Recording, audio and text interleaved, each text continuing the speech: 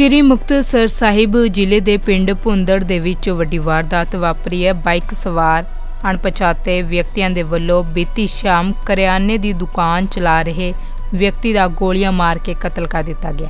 ਮਿਲੀ ਜਾਣਕਾਰੀ ਤੋਂ ਪਤਾ ਲੱਗਿਆ ਕਿ ਮ੍ਰਿਤਕ ਚਰਨਦਾਸ ਡੇਰਾ ਸਰਸਾ ਦੇ ਨਾਲ ਸੰਬੰਧ ਰੱਖਦਾ ਸੀ, ਜੋ ਕਿ ਬੀਤੀ ਸ਼ਾਮ ਆਪਣੀ ਕਰਿਆਨੇ ਦੀ ਦੁਕਾਨ ਦੇ ਵਿੱਚ ਬੈਠਾ ਸੀ ਕਿ ਬਾਈਕ ਸਵਾਰ ਦੋ ਵਿਅਕਤੀ ਸਮਾਨ ਲੈਣ ਦੇ ਬਹਾਨੇ ਆਏ, ਜਿਨ੍ਹਾਂ ਨੇ ਉਸ ਤੇ ਗੋਲੀਆਂ ਚਲਾ ਦਿੱਤੀਆਂ ਅਤੇ ਮੌਕੇ ਤੇ ਫਰਾਰ ਹੋ ਗਏ। ਜ਼ਖਮੀ ਹਾਲਤ ਦੇ ਵਿੱਚ ਚਰਨਦਾਸ ਨੂੰ ਬਠਿੰਡਾ ਦੇ ਹਸਪਤਾਲ ਲਿਜਾਇਆ ਜਾ ਰਿਹਾ ਸੀ ਕਿ ਰਸਤੇ ਵਿੱਚ ਉਸਨੇ ਦਮ ਤੋੜ ਦਿੱਤਾ। ਫਿਲਹਾਲ ਪੁਲਿਸ ਦੇ ਵੱਲੋਂ ਮਾਮਲੇ ਦੀ ਗੰਭੀਰਤਾ ਦੇ ਨਾਲ ਜਾਂਚ ਕੀਤੀ ਜਾ ਰਹੀ ਹੈ। ਪੁਲਿਸ ਅਧਿਕਾਰੀ ਨੇ ਵਾਪਰੀ ਇਸ ਕਤਲ ਦੀ ਵਾਰਦਾਤ ਬਾਰੇ ਵਧੇਰੇ ਜਾਣਕਾਰੀ ਦਿੰਦੇ ਹੋਏ ਕਿਹਾ ਕਿ ਮ੍ਰਿਤਕ ਚਰਨਦਾਸ ਅਤੇ ਉਸ ਦੀ ਭਰਜਾਈ ਨੇ 2018 ਦੇ ਵਿੱਚ ਪਿੰਡ ਭੁੰਦੜ ਦੇ ਗੁਰੂ ਘਰ ਦੇ ਵਿੱਚੋਂ ਸ੍ਰੀ ਗੁਰੂ ਗ੍ਰੰਥ ਸਾਹਿਬ ਜੀ ਦੇ ਸਰੂਪ ਸਾਹਿਬ ਚੁੱਕ ਕੇ ਬੇਅਦਬੀ ਦੀ ਘਟਨਾ ਨੂੰ ਅੰਜਾਮ ਦਿੱਤਾ ਸੀ, ਜੋ ਕਿ ਜ਼ਮਾਨਤ ਤੇ ਜੇਲ੍ਹ ਚੋਂ ਬਾਹਰ ਆਇਆ ਹੋਇਆ ਸੀ ਤੇ ਕਿਸੇ ਨੇ ਉਸ ਦਾ ਗੋਲੀਆਂ ਮਾਰ ਕੇ ਕਤਲ ਕਰ ਦਿੱਤਾ ਹੈ। ਫਿਲਹਾਲ ਮਾਮਲੇ ਦੀ ਗੰਭੀਰਤਾ ਦੇ ਨਾਲ ਜਾਂਚ ਕੀਤੀ ਜਾ ਰਹੀ ਹੈ।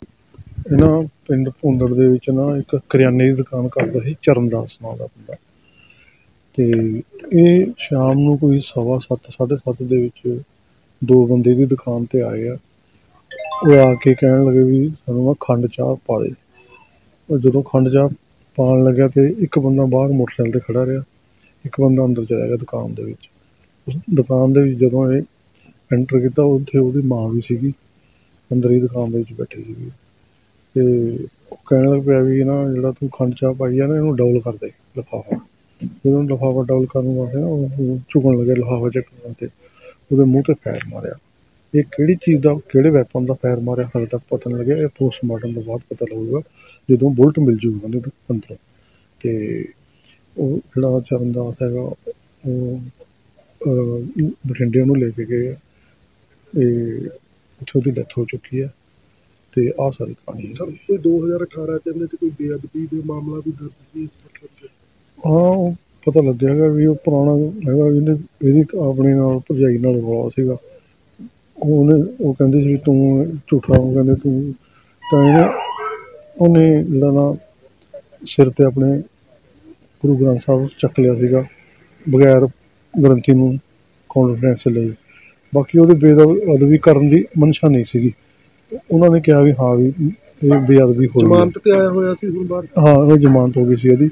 ਤੇ ਅਪ੍ਰੈਲ 2018 ਦਾ ਮਸਲਾ ਹੈਗਾ। ਤੇ ਦੋ ਕੁ ਮਹੀਨੇ ਬਾਅਦ ਇਹਦੀ ਜ਼ਮਾਨਤ ਹੋ ਗਈ ਸੀ ਇਹਦੀ। ਸਰ ਪੋਸਟਮਾਰਟਮ ਪੋਸਟਮਾਰਟਮ ਉਹਦੀ ਡੈਡ ਬੋਡੀ ਜਿਹੜੀ ਆ ਉੱਥੇ ਪਹੁੰਚਾਤੀ ਆ ਮੋਰਚਰੀ 'ਚ ਰੱਖੀ ਹੋਈ ਆ। ਸਵੇਰੇ ਪੋਸਟਮਾਰਟਮ ਹੋ ਜਾਊਗਾ। ਇਹਦੇ ਨਾਲ ਸੰਬੰਧਿਤ ਸੀ ਕੋਈ ਪਤਾ ਲੱਗਿਆ ਕਿ ਨਹੀਂ ਇਹਨਾਂ ਦਾ ਕਤਲ ਦੀ ਵਾਰਦਾਤ ਕਰਨ ਵਾਲੇ ਆਰੋਪੀਆਂ ਨੂੰ ਪੁਲਿਸ ਕਦੋਂ ਗ੍ਰਿਫਤਾਰ ਕਰੇਗੀ ਇਹ ਤਾਂ ਆਉਣ ਵਾਲਾ ਸਮਾਂ ਹੀ ਦੱਸੇਗਾ। ਸਕਾਈਨਸ ਪੰਜਾਬ ਦੇ ਲਈ ਸ਼੍ਰੀ ਮੁਕਤਸਰ ਸਾਹਿਬ ਤੋਂ ਤਰਸੇਮ ਟੁੱਡੀ ਦੀ ਰਿਪੋਰਟ। ਜੇ ਤੁਸੀਂ ਐਕਸਪ੍ਰੈਸ ਐਂਟਰੀ ਦੇ ਵਿੱਚ ਜਾਂ ਪੀਐਨਪੀ ਦੇ ਥਰੂ ਜਾਂ ਐਲਐਮਆਈਏ ਦੇ ਥਰੂ ਜਾਂ ਜੌਬ ਆਫਰ ਦੇ ਥਰੂ ਜਾ ਕੇ ਪੱਕੇ ਤੌਰ ਤੇ ਸੈਟਲ ਹੋਣਾ ਚਾਹੁੰਦੇ ਹੋ ਜਾਂ ਤੁਸੀਂ ਸਟੂਡੈਂਟ ਵੀਜ਼ਾ ਤੇ ਕੈਨੇਡਾ ਜਾਂ ਆਸਟ੍ਰੇਲੀਆ ਸਕਾਲਰਸ਼ਿਪ ਦੇ ਨਾਲ ਘੱਟ ਫੀਸ ਤੇ ਤੁਹਾਡੇ ਐਜੂਕੇਸ਼ਨ 'ਚ ਗੈਪ ਹੈ ਤੇ ਤੁਸੀਂ ਪੜ੍ਹ ਕੇ ਜੇ ਸੈਟਲ ਹੋਣ ਦਾ ਸੁਪਨਾ ਪੂਰਾ ਕਰਨਾ ਚਾਹੁੰਦੇ ਹੋ, ਤੁਸੀਂ ਹੇਠ ਲਿਖੇ ਨੰਬਰਾਂ ਤੇ ਕਾਲ ਕਰ ਸਕਦੇ ਹੋ।